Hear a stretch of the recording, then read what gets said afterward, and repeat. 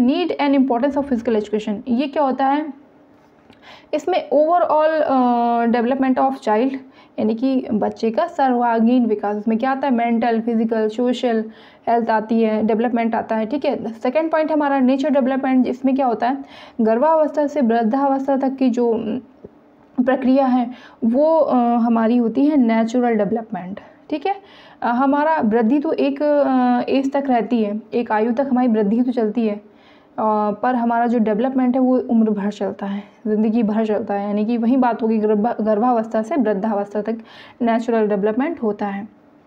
ठीक है third point हमारा है फ़िज़िकल डेवलपमेंट फ़िज़िकल डेवलपमेंट का, क्या शारीरिक स्वास्थ्य कैसे है? हमारा निरोगी है, निरोग है हम, कोई भी एक्टिविटी आराम से कर सकते हैं परफॉर्म कर सकते हैं तो हमारा फ़िज़िकल डेवलपमेंट होता है ठीक है?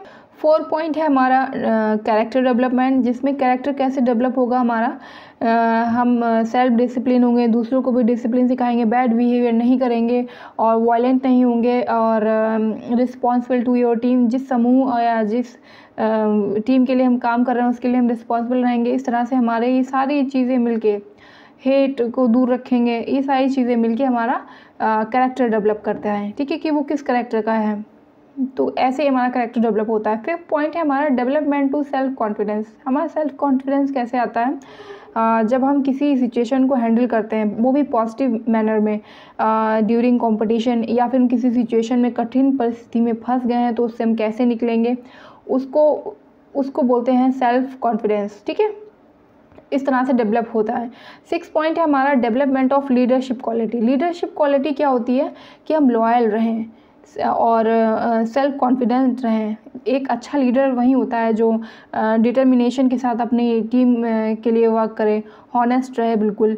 और सबसे बड़ी उसकी क्वालिटी होती है कि सबको साथ में लेके चलना। किसी की भी बात इग्नोर नहीं करना। अगर किसी की प्रॉब्लम है तो उसको भी साथ में लेके चलना। सबको साथ लेके चलना। ही लीडरशिप की एक बेस्ट क्वालिटी है, ठीक है? तो इसे बोलते हैं development of leadership quality seven point आता है development of positive attitude positive attitude क्या होता है?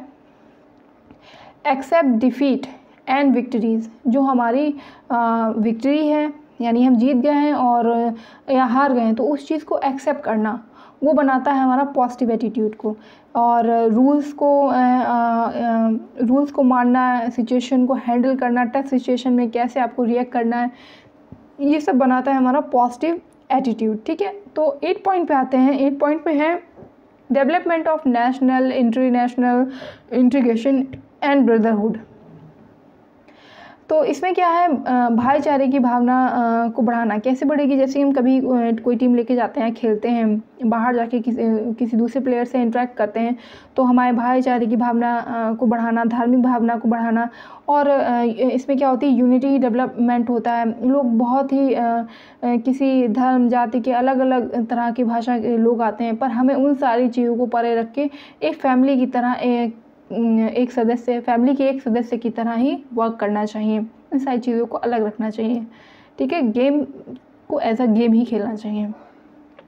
नाइन पॉइंट आता है gain health related knowledge. Gain health related knowledge में क्या है कि हम जिस भी बच्चे या स्टूडेंट पे काम कर रहे हैं, उसको हेल्थ रिलेटेड नॉलेज देना कि इस पर्टिकुलर गेम के लिए आपको कितनी न्यूट्रिशन की ज़रूरत है, कितनी एनर्जी की ज़रूरत है, आपको कौन कौन सी डाइट को फॉलो करना उसको भी ये चीज़ सिखाना ताकि वो अपने अपने आप को अपनी फ़िज़िकल हेल्थ को, अपने मेंटल हेल्थ को डेवलप कर सकें। ठीक है, टेंथ पॉइंट है हमारा सोशल डेवलपमेंट। सोशल डेवलपमेंट कैसे होगा हमारा? दूसरों का सम्मान करके, भाईचारे भाईचारा बना के, सहयोग करके, सम्मान करके एक दूसरे का राष्ट्रीय भक्ति यानी पैट्रियाटिज्म बना के रखना, ठीक है? एक, इससे हम एक आइडियल सिटीज़न बनते हैं और मैनर्स रखना। ये सारी चीज़ें मिलके हमारा सोशल डेवलपमेंट करती हैं। एलेवन पॉइंट है हमारा use of free time free time में हम आ, क्या करते हैं? जब हम थक जाते हैं किसी भी चीज़ से बोर हो जाते हैं या आ, बहुत बिज़ी लाइफ से हमें कुछ थोड़ा रिलैक्स करना है तो हम किस तरह से अपने आप को अपने फ्री टाइम को कैसे यूज़ करेंगे? रिक्रिएशन एक्टिविटीज़ करके। जैसे कि हमने फ़िशिंग कर ली या अपने मनपसंद कोई गेम खेल लिया जिसमें हमको ज़्यादा मज़ा आता है। ठीक है और हम फ़िशिंग कर सकते हैं और हेल्दी लाइफस्टाइल जी सकते हैं। तो ये हो गया हमारा free time use of free time twelfth point है डेवलपमेंट ऑफ़ कल्चर कल्चर का डेवलपमेंट कैसे होगा? हर नेशनल नेशन का अलग अलग गेम होता है। उसके अलग अलग रीति रिवाज होते हैं, मान्यताएँ होती परंपराएँ होती हैं। तो जो कि इंट्रोड्यूस कराती हैं एक दूसरे को। जब भी हम कोई खेल खेलते हैं तो जैसे कि ओलंपिक है, ओलंपिक में क्या है, उनकी रीति रिवाज क्या है कि एक लैम्प को जलाने की परंपरा है, जो कि उसकी ज्वाला जो आग है, वो लाइट वहीं से ही, ओलंपिया से ही ली जाती है। उसी तरह से हर गेम की एक रीति रिवाज होते हैं। जो कि डेवलपमेंट ऑफ़ कल्चर को दिखाते हैं। ठीक है थर्टीन है our social structure social structure हमारा कैसे बनता है? लोकतांत्रिक मूल्य पे, सिद्धांतों पे आधारित जो चीज़ें होती हैं या गेम होते हैं उस पर हमारा सोशल स्ट्रक्चर बनता है, जिसका ज्ञान जो है, कैसे हम बांटेंगे फ़िज़िकल एक्टिविटी में भाग लेके हम दिखाएँगे सोशल स्ट्रक्चर को। ठीक है, अब आता है fourteen point employment based curriculum employment कैसे मिलेगा? किस किस चीज़ों में मिलेगा? जैसे कि स्पोर्ट्स इंस्टीट्यूशन में एम्प्लॉयमेंट मिल सकता है इंस्टीट्यूशन में जाके हम शिक्षा दे सकते हैं। ठीक है?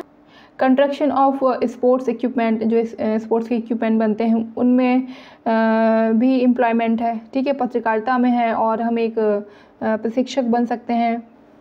ये सारे हमारे एम्प्लॉयमेंट के करिकुलम है, ठीक है? मेंटल डेवलपमेंट क्या होता है? Ability to take right decision हम जल्दी से और सही डिसीज़न लें, यही हमारी मेंटल डेवलपमेंट होता है।